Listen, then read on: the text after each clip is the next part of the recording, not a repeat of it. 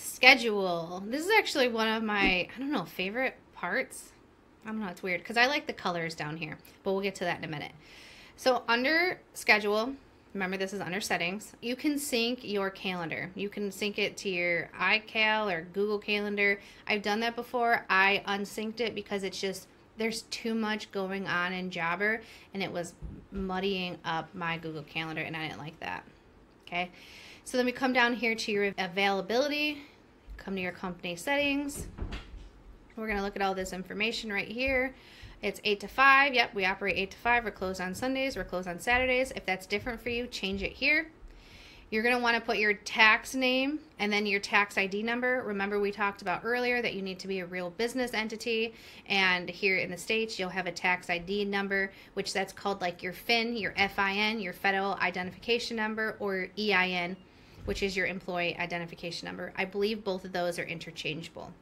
Here is where you're going to want to put your tax rate. In Michigan, we do not need to collect tax or sales tax on services. But if your state has to, do not forget to do that because you will get yourself in a financial pickle and you don't want that because you do have to pay uh, your sales tax. And then once you create it in here, this is where it's going to auto populate on every invoice for you so you don't have to worry about it. Okay, you're to come here, put your region, update all of this information, make sure all of that looks good. Everything looks good, we're good. It's taking us for a loop. Okay, right down here is calendar colors. This is one of my favorite. So when a title says aggressive dog, is going to turn their little ping on the map red. For every other week, it'll turn it gray, and then for final cleaning, it's going to turn it black.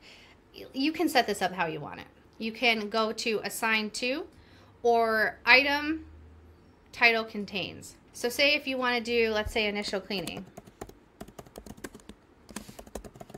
initial cleaning, you're going to want that to be a light green color. Save that.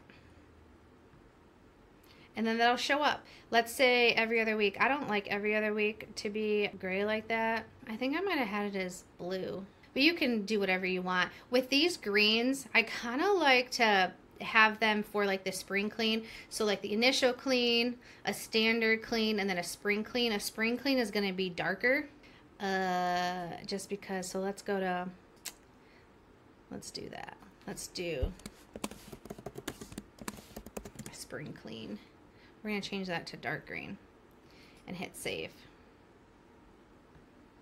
Plug and play your colors. The issue is, is these colors don't show on the app, which is weird. I really wish Jobber would fix that. And then your day sheet options, what do you want it to show? You want it to show customer information, notes. Yep, I don't want it to show the map. Update settings. And your day sheets can be sent out via email or printed off, and that's just going to have your entire route in order say if jobber goes down or there's some issues, then your technicians can manually type that into their navigation and manually send the customer text message if for whatever reason jobber goes down.